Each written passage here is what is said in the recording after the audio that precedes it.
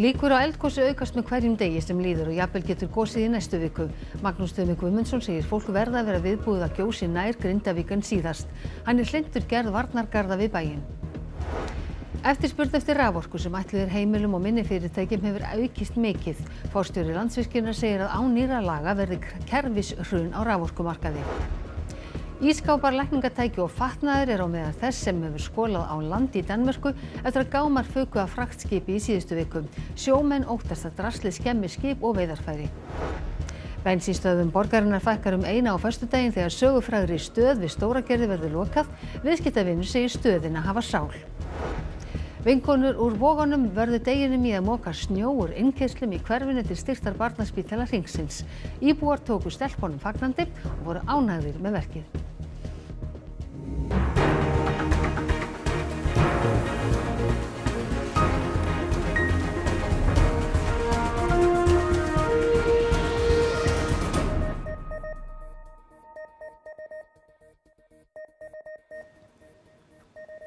Komið þið sæl.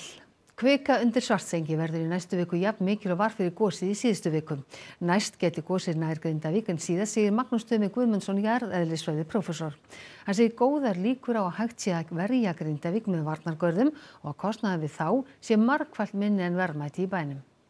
Líkur eru á að fljótlega verði öðruvísi um að litast á þessum slóðum en var þegar þessar myndir voru teknar í síðustu viku við lok eldgossins. Landris við svartsengi nefnur réttæpum 10 mm á dag og heldur stöðugt áfram. Eftir viku kannski er það komið í sveipaðan stað eins og var fyrir uh, gossið sem við fengum núna í vikunum fyrir jól. Þegar þessi atbyrðarás heldur áfram þá er líklegt að það endi með gossi og það getur komið á næstu vikum. Það gæti orðið í næstu viku? Það er ekki útilokað. Við getum ekkert útilokað í þessu, það er á sköp einfall. Líklegasta upptakasvæði eldgós er á milli stóra skófells og hagafells, segir vísindaráð, sem sagt svipað og síðast. Við verðum að hafa samt uh, vera mjög vakandi fyrir því möguleika að, að kvika kæmi þá meira upp uh, nær öðrum hvorum endanum og þá kannski verðum vera við því búin að, að, að það geti gósið þá nær Grindavík en gerði síðast. Uh, ég er ekki að segja að það sé neitt líklegra en það er bara eitt af því sem að er e, vel mögulegt að gerist. Svo það þarf að fara öllum með gátt. Í síðast elgósi vildi svo heppilega til að hraunir rann í norðaustur og engin mannvirki voru í hættu. Vatnaskil eru við sundnúk. Gósið var réttum megin við hann ef svo má segja. Gjósi sunnan sundnúks eigst hætta verulega á því að hraun renni áttina til Grindavíkur. Sundnúkur er hæstur í 100 metra hæði við sjávamáli mun herra en Grindavíkur bær. Varnagarðar hafa nú ekki kannski verið mikið rættir í, í vísdamanna hópnum en eins og kannski flesti sjálf sem að skoða þetta þá er má verja, við skoðum mjög góða líkur að setja verja verulegan hluta Grindavíkur með varnagörðum. Mér skilst að, að, að það sé metið 150 um miljardar eignir þar og, og, og Það er náttúrulega bara gríðarlegt tjón ef, ef það færi nú allt undir hraun og ef það er hægt að verja það með görðu sem kostar nokkra miljardar þá held ég að það sé mjög einfalt reiknistæmi fyrir flesta. Bæjastjórnarfundur Grindavíkur í dag skorar á ríkistjórnina ráðast í gerð varnargarða Norðan Grindavíkur sem fyrst. Hættumatskort veðurstofunar gildi til sex á föstudagskvöld. Lauruglustjórun á Suðunessum segir að grindvíkingar megi áframdvælja heima hjá sér þar til breytingar á hættumatskorti gefa tilefni til annars. Alþjóða helbriðistofnunin segir hann er öll sjúkrahús og gasa séu óstarfhæf. Ómögulegt er að sinna langlegu sjúklingum á meðan sært fólk streymir á sjúkrahúsin. Á stærstu sjúkrahús Gaza koma fleiri hundruð særðir á hverju klukkustund þegar mest er. Á sama tíma er látið fólk fært á sjúkrahús til að bera á það kennsl. Fleiri vikur er síðan alþjóða heilbriðismálastofnunin fór að lýsa sjúkrahúsum á Gaza sem gravreitum og ástandið hefur ekki batnað síðan. There's blood everywhere in these hospitals at the moment. We're seeing almost only trauma cases come through the door and at a scale that's quite difficult to believe. Um, it, it's, it's a bloodbath as we, as we said before, it's carnage. Casey segir að heilbriðiskerfi Gaza hafi aðeins 20% afkastagetu í samanbörðu við afkvöstin fyrir stríðið. Jafnvel þá var ástandið langt því frá ákjósanlegt. Læknar og sjúklingar þurfa ofta að flýja byrðir þrjóta og rafmagn slær út. Á meðan ástandið er svona gengur illa að sinna þeim sem ekki liggja inni vegna stríðsátakana. all of the non-communicable diseases, the cancer patients, the people with diabetes, the people with uh, heart conditions and, and other, other conditions, they're not able to access services in most of the Gaza Strip right now. And obviously, when there's a constant stream of people on the edge of death who need life-saving care, they take priority. Ríflega 20.000 gasabúar hafa látist síðan stríðið hófst eftir hriðverka árásirnar 7. oktober, segir heilbriðisánandi Hamas á Gaza. Engin hæðar leikur er að jarðsetja slíkan fjölda og því eru fjölda grafir reglulega teknar. Jarneskar leifar um 80 manna voru grafnar í þessari gröf í Rafa, næri landamærum Gaza og Egyptalands í gær. Eftirspurn eftir raforku á markaði heimila og minni fyrirtæki er mun meiri fyrir næsta ár en almennur vöxtur í samfélaginu kallar á. Fórstjóri landsvirkjuna segir hættu á kerfishruni nema raforka verði tryggð minni notendum með lögum. Stærri notendur sækist í almenna orku. Raforkumarkaðurinn er tvískiptur. 80% fer til stórnotenda og 20 til heimila og minni fyrirtækja á almennu markaði. Pantanir á orku landsvirkjunar á þeim markaði jökust um 25% fyrir næsta ár en almennur vöxtur í samfélaginu er þó ekki nefn að hámarki 2%. Hörður Arnarsson fóstur í landsvirkjunar segir að orkan sem ætlið er minni notendum sé á leið annað. Núna þegar við höfum ekki komist í virkjanir þá er senda orðin meiri eftirspurn heldur um frambóð og þá er ekkert þetta fyrirstöðu að í lögunum í dag að aðilar raunveru sem að Eh, kaupi orku í gegnum helsuna eh, sem, er, sem að hérna, en þá virkar eh, kerfið hjá okkur ekki. Hörður segist ekki vita hverjar séu að baki stærri pöntunum landsvirkjunar en ef miðaðir viður af orku spá orkustofnunar til 2050 verður aukin eftir spurna mestu vegna gagnavera. Engin auka orka er hins verð til skiptana nú. Við getum ekki afhend orku sem er ekki til og við þurfum að tryggja svo orka sem er til að hún sé, það sé ákveðin forgangur fyrir svona þetta almenna samfélag og einnig fyrir þá stórnóldur sem hafa nú þegar gert samninga. Stórum álið er að við þurfum að varast mjög að gera samninga við nýja stórnóldur. Í orkustefnu ríkistjórnarinnar segir þegar kemur að forgangsröðun orkuframbóðs hvort sem er til lengri eða skemri tíma þá skal almenningur og þjónusta í almanna þáu ávalt njóta forgangs umfram aðra hagsmunni. Atvinnuvega nefnd alþingis ákvað rétt fyrir jól að fresta afgreðslu lagafrumvarpsum forgangsorku fram í janúar. Markmið frumvarpsins er að koma í veg fyrir raforkuskort hjá heimilum og smerri fyrirtækjum. Það er mikilvægt að komi síðan frumvarp sem að styðji við raforkuverki heimilana eh, en ekki grafi undan því. Það er mikilvægt að, að það sé landsvíkur sé heimilað að eh, forgangsaða til hagspóta fyrir almennamarkaðin. Formaður nefndar um eftirlit með störfum lauruglu segir líklegt að nefndin taki upp mál ungs mann sem var handekinn á aðfangadag. Maðurinn sem er dökkur að hörun telur að hnúðlitur sinn hafi haft áhrif á handtökuna og gaggrindi stjúpmóðir hans vinnubröð lauruglu á Facebook.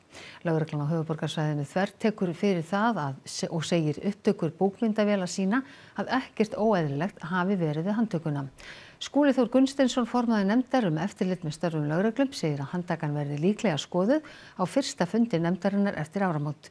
Verði það gert með nefndin kall eftir gögnum frá lauruglum þar með talið áður nefndum myndbandsupptökum.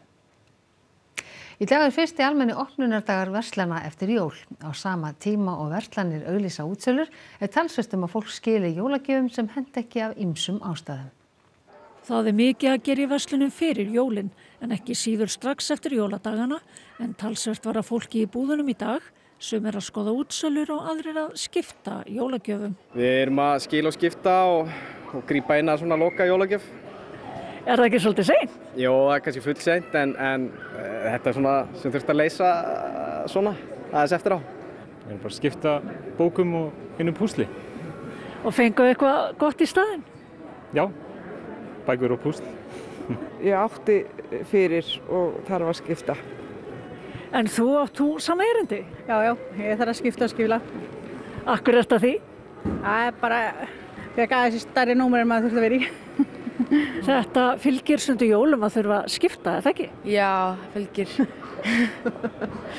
Já, fylgir sundum að eða, pass, eða passar ekki eitthvað á mann þá bara hann bara að skipta. Og útsölurna býða ekki eftir á jólinn líði. Útsalan byrjaði að vanna á jóladag. Eru margir sem vesla útsölu á jóladag? Já, það eru þó nokkrir. og jafnvel einhverju sem er að kaupa eitthvað á óskalistanum sem skilaði sér ekki til triðið ár. Þetta virðist vera að færast á þessa daga undan fyrir nár. Þá hefur hafa útsölu byrjað bara rauninni strax eftir jólinn. En hver er réttur neytenda sem þurfa að skila vöru eftir að útsala er hafinn? Í flestum vestlunum farið við skiptavinnur fullt verð tilbaka eða innegn. Breki segir allan ganga því hvort fólk geti nota innegn og nota útsölu en það sé skilningu neytendasamtakana það eigi vera hægt. Og reglulega berist fregnir af vestlunum sem hækki verð fyrir útsölur. Og bara til þess að lækka það svo aftur niður í raun og veru það verð sem var áður og kalla það þá útsöluverð. Þannig að það er kannski ekkit alltaf verið að spara með því að fara útsölu? Nei, því miður þá er það þannig að það er ekki alltaf uh, hérna, verið að spara þegar við fyrum á, á útsölur og meira segir að þannig að stundum kaupum við köttin í seknum. Varning úr gámum flutningaskip sem er reiki á ströndu Norður Jótlands í Danmark og mikið hreinsunarstarf er fyrir höndum. Ungmenni skemmta sér við að flokka ruslið en sjómenn óttast að veiðar færi skemmist. Þvottavélar, skóbúnaður, ískápar, lækningatól, fröðplast, pappi og annað rusl er á meðal þess sem rekið hefur á landa á norður ströndu Jótlands. Drastlið dreifist um nokkuð drjúan spotta og eiga starfsmenn sveitarfélagana þar mikið verk fyrir höndum. Varningurinn kemur úr ríflega 40 gámum sem fraktskip danska flutningaritsans Mærsk glataði í óveðrinu Píu sem gekk yfir Danmörku 22. desember. Det er da mega ærgerligt, fordi der er der mange, der bruger deres, hvad kan man sige, deres jul på ligesom at nyde og gå en tur herude. For det første så har det store konsekvenser, hvis vi skulle sejle ind i den. Men det har også store konsekvenser, hvis det kommer i vores redskaber. Der er jo ikke nogen, der synes, det er særlig sjovt at tage ud for at fange lidt torsk, og så måske miste hele sit redskab på grund af det, så er der jo ikke meget fortjeneste i det. Vi er rigtig kede af situationen. Vi tager fuldt ansvar, og vi er der, indtil der er, indtil der er ryddet op. Men det øh, oprydningsarbejde det skal foregå sammen med, med de lokale myndigheder, som har kendskapen. Þótt þeir sem hagsmuna eiga að gæta líti málið alvarlegum augum, þá sjá aðrir bjartari hliðar þess. Jeg har set kanyler, og jeg har set køleskab, og jeg har set masser af flamingo også. Vi har også samlet masser på dine køleskaber nu, og, og sådan prøver at, at få, få det lagt, så det er nemmere at finde. Yfir 50 ára sögu bensinstöðvarinnar við Stóragerði líkur senn. Hún verður rifin og íbúðir byggðar í staðin. Fastakonar segja stöðuna hafa sál, þar sé veitt sjálfséð þjónusta og margir eigi eftir að sakna hennar. Það fekk hver að vera síðastur að dæla eldsneiti hér á bensinstöðinu við Stóragerði sem verður brátt lokað eftir rúmlega 50 ára starfsemi og þá munu dælunar þagna. Já, maður verður bara að taka því. Það er nú mjög gott að vera hérna, virkilega góður staður. Hvað er gott við hennar stað? Bara yndislegt fólk sem kemur, bara svona rói yfir honum, engin læti. Árið 2019 voru 46 bensinstöðar í borginni og þá kynnti borgarað áform um að fækka þeim um helming fyrir loka árs 2025 og nú, fjórum árum síðar, eru bensinstöðarnar enn 46 en 29. desember verða þær 45. Stöðum verið rifin og í staðin koma fjölbílis og parhús alltaf 5 hæðir. Stöðum við stóra gerði var byggð 1970 og þá þótti staðsetningin ákjósanleg í námynda við ný hverfi eins og Fossvók. Hún kosti fréttir árið 1990 þegar starfsmöður stöðvarinnu var stungin til bana af tveimur mönnum sem rændu þaðan fjö. En hollvinnir stöðvarinnar láta þann harmleika ekki á sig fá og margir hafa bendist henni tryggðar böndum. Bara hún er með sál. Mann er líður vel í hérna. Þó svo að þessi hörmungasaga hafi verið og kvílir á henni. Heldur að margir eigi eftir að sakna stöðvarinnar? Já, ég geta vel trúið því og sérstaklega svona eldra fólk sem er tristar að það að fá þjónustu. Því að það eru margir hérna sem að sko hreinlega kunni ekki að dæla bíla. Sko með einhver. Ég byrjaði á byggjum að vesla hérna þegar ég var 17 ára, bjóð hérna í Fóshóinu þá. Fyrst eftir ég fekk bílbráð þá var maður alltaf að koma hingað. Og... En er þetta meira en bensinstöð? Já, þetta, stundum er þetta eins og félagsheimili, það koma hér allir og eru velkonir í kaffi. Hópur flóttafólks frá Palestínu við komið sér fyrir í tjöldu fyrir framann alþingi til að þrýsta áum að fjölskyldumæðlumir þeirra fáið að koma til Íslands á grundvelli fjölskyldusammenningar. Um 30 til 40 fjölskyldumæðlumir fólksins hafa fengið slíkt vilirði en erfiðlega hefur gengið að koma þeim frá Gaza. Að sögn aðstandenda hefur verið lítið um svör hjá utanríkisráðuneytinu og útlendingastofnun og vill fólki með þessu vekja aðtekli stjórnvalda á stöðunni. Hyggst að dvelja í tjaldbúðunum þangað til ástunir þeirra eru komnir frá Gaza. Fækkun í þjóðkirkjunni kemur niður á tekjum sókna og viðhaldi kirkna. Sviðstjóri hjá Minjastofnun segir húsafriðurna sjóð ekki geta staðið undir viðhaldi án mót framlags frá eigendum byggingana. Á landinu eru 215 friðaðar kirkjur. Í um 90 sóknum eru færri en 50 sóknarbörn og tekur sóknarinnar því vel innan við miljón á ári. Fámennar sóknir eiga erfitt með að fjármagna viðhald á kirkjum eins og greint var frá á jóladag. Undir rekstrastofu þjóðkirkjunar starfar fastegnasvið en það sér þó einungis um eina kirkju. Þjóðkirkjan korki á eða rekur kirkjur við Sjónalandið. Þjóðkirkjan er bara með skálhaldskirkju í sínu rekstri en annars er þetta sóknarnemdir á hverjum stað sem að eiga og reka kirkjubyggingarnar. Birgir segir áhrif af fækkunar í þjóðkirkjunni gæta mest í sóknunum sem tapa sóknargjöldum. Kirkjan ráðstafar 10% af framlægi sínu um 430 miljónum til jöfnunarsjóðs sem stiður sóknarnemdir í að viðhalda kirkjum. Það svarar þó ekki einu sinni helmingnum af þörfinni. Í hverju, hverju byggðalagi þá er kirkjan kannski svo bygging það sem að lagður var mestu listrætt metnaður á sínu tíma og, og líka kannski það byggingar sem að fólk tengist hvað mest tilfinningalegum böndum. Margar af þessum byggingum séu orðnar of litlar fyrir helgihald eins og það hefur þróast. Um þriðjungur af styrkjum frá húsafriðunarsjóði rennur til kirkjubygginga. En það er ljóst að húsafriðunarsjóður miða við núvarandi fjárvitingar getur engan veginn staðið undir öllu viðhald á kirkjunum ef að, ef að, ef að sóknirnar geta ekki komið með neitt mótframlag. Á síðustu árum hafa margar kirkjubyggingar verið gerðar vandlega upp en gera þarf ráð fyrir áframhaldandi viðhaldskostnaði. Pétur segir vandamálið ekki sér íslenskt og að víðar um Evrópu séu kirkjubyggingar að fá nýtt hlutverk. Við höfum dæmi um það hér á landi þar sem kirkjur hafa verið gerðar að annars konar, teknar undir annars konar starfsemi meðal annars fyrir gistingu og vinnustofur og annars líkt. Frá sjónarhóli minjastofnunar skipti mestu máli að byggingar séu í nótkun og gagnist fólki. Þrjár 11 ára stelpur mókuðu innkyrslur í voðakverfin í dag og halda því áfram næstu daga. Litlar þúsund krónur uppgæðar fyrir verkið og allir ágóðir ennur beint til barnaspítala ringsins.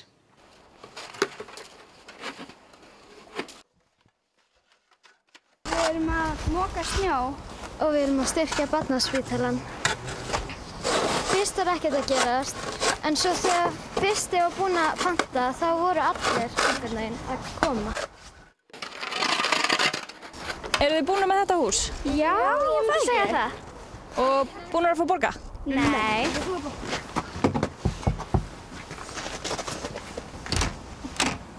Hæ. Við erum búin að... Og hvað er borga? Hæ? Hvað er borga? Eitt þúsund krónur. Hér eru 2000 krónur. Takk hérlega fyrir. Smá hressi. Takk fyrir. Og þá var bara að vaða í næsta verkefni. Og komið með greiðnar? Já. Vá! Þetta, já takk. Og, og hvað vil ég fá fyrir það? Um, Alla peningarna mína? Ef ná. Þetta, ég til í það. Frábær. Hei, en eru þið líka til í að móka ofan á tunnanum? Já. Já. Það er bara frábær.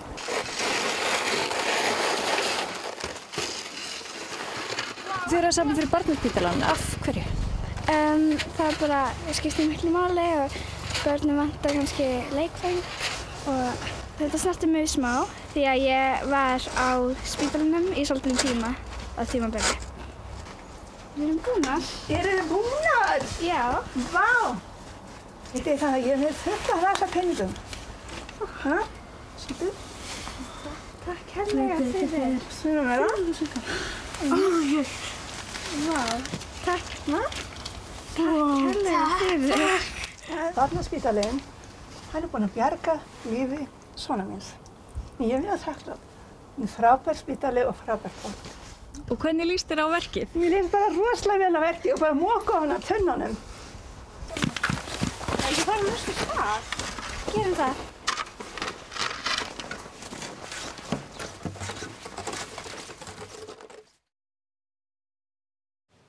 Og þá ætlum við að líta til veðurs. Það kólnar í veðri norðan 5-13 metrar á sekundu á morgun, dálítil jél á norðanveðurlandinu og við suðurstöndina, annars yfirleitt þurft. Frost verður 2-10 stig, en það er Birta Líf Kristinsdóttir sem fyrir nánar yfir horfur næstu dagar loknum íþróttafréttum sem Þorkild Gunnar Sigurbjörnsson sérum í kvöld. Undirbúningur íslenska karlalandsliðsins í handbólta fyrir Evrópumótið í janúar er formlega hafinn. Landsliðstjálfarinn fer bjart síðnin í komandi törn. Manchester United vann langþráðan sigur í ennsku úrvalstildin í gærkvöld og Liverpool trónir á toppi dildarinnar í byli. Og Luka Doncic rauf 10.000 stegamúrin í NBA-dildin í körubólta um jólinn. Íþróttir hér eftir fréttir. Og við ætlum að rifja upp helstu atriði fréttatímas áður við kveðjum ykkur. Líkur á eldgósi aukast með hverjum degi sem líður og jafnvel getur gósið í næstu vikum. Magnús Tumi Guðmundsson segir fólk verða að vera viðbúið að gjósi nær Grindavík en síðast. Hann er hleintur gerð varnargarða við bæinn. Eftir spurð eftir raforku sem ætlið er heimilum og minni fyrirtækjum hefur aukist mikið. Fórstjóri landsvirkjuna segir að án nýra laga verði kerfis hrun á raforkumarkaði. Ískápar, lækningatæki og fatnaður er á meðal þess sem skólað hefur á landi í Danmörku eftir að gámar föku að fraktskipi í síðustu viku. Sjómenn óttast að drasli skemmi skip og veiðarfæri. Bensinstöðum borgarinnar fækkar um eina á föstudaginn þegar sögufræðri stöði stórakerði verður lokað. Viðskiptavinur segir stöðina hafa sál. Vinkonur úr Vogunum vörðu deginum í að moka snjó úr innkeyslum í hverfinu til styrtar barnaspítala Ringsins. Íbúar tóku stelpunum fagnandi og voru ánægðir með verkið. Það var þessum fréttima að ljúka og nú kom það íþjóttum veðri og svo er það Kastljós annáll. En það eru ekki fréttir klukkan tíu í sjónvarpinu núna milli hátíða en útarsréttir er á sínum stað á slæginu tíu og svo má finna allar nýjustu fréttir á rú.is. En við ætlum að segja þetta gott að sinni. Þakkum ykkur samfélgina þessum aðverð þessum degi. Verðið sæl.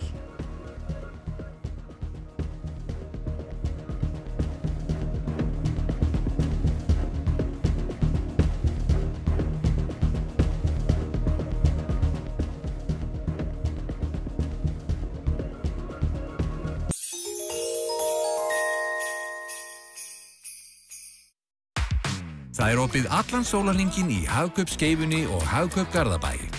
Hagkaup. Meira opið. Alla daga. Landsbankin þakkar fyrir samfélgdina á árinu. Sigrana og áskorannar. Littlu hlutina í lífunu og þá stóru. Við þökkum fyrir samstarfið. Út um allt land, allan ársins ring og samveruna í ótal fjölbreyttum verkefnum í öllu samfélaginu.